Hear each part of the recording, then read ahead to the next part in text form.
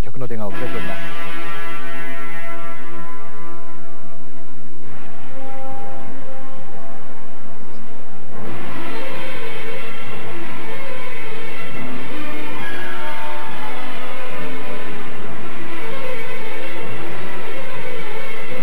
これが要素の一つの、はいえーダブルトーラッソーです。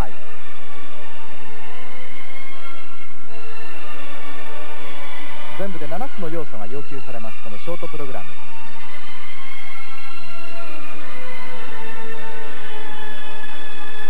これも要素の一つです。はい。ダブルルッツ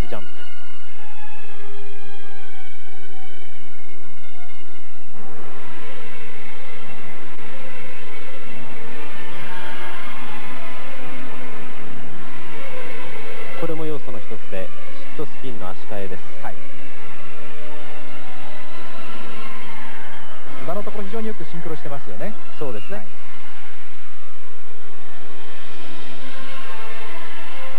ダブルスプリットルーツツイスト。これも要素の一つです。昨年の世界選手権は第5位に入賞しておりますこのペア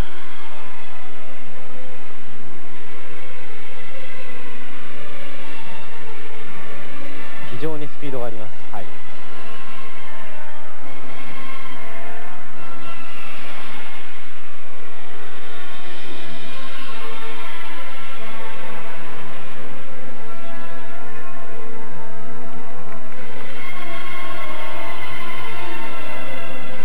表現も非常に伸びやかにできてるような気がしますけども。そうですね、あの、はい。今までのところミスがありませんし、はい。非常に何かあの乗っている感じですね。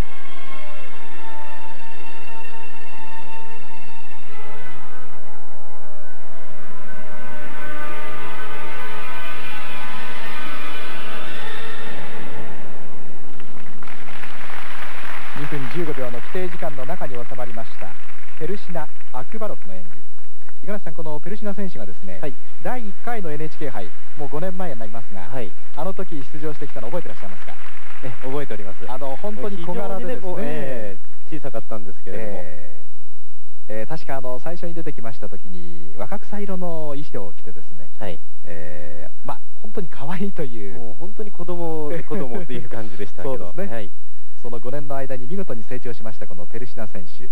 1メートル58センチ47キロという。綺麗なデススパイラルですね。はい。18歳になりましたペルシナさんです。男性のアクバロフ選手の方は23歳で176センチあります。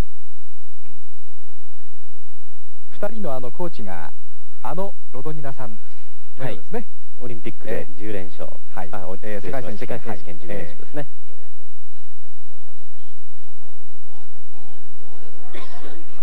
なかなかレベルの高いことを証明しました今日のペルシナ・アクバロフの演技です。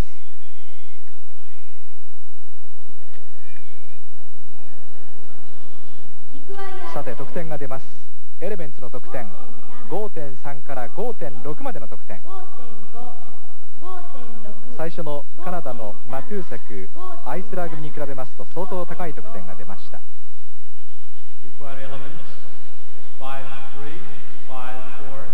今のエレメンツの評価についてはいかがですか？なかなかいい得点が出てると思います。はい.これはダブルルッツジャンプですね。はいあのスピンも非常にあの、まあ、シンクロしておりまして、えあの乱れがありませんでしたし、なかなかあのまとまった演技だったと思います。左側23歳のアクバロフ選手は、もっとこう若々しい23歳でさらに若いという感じがしますけれどもこちらプレゼンテーション5.3からこちらも5.6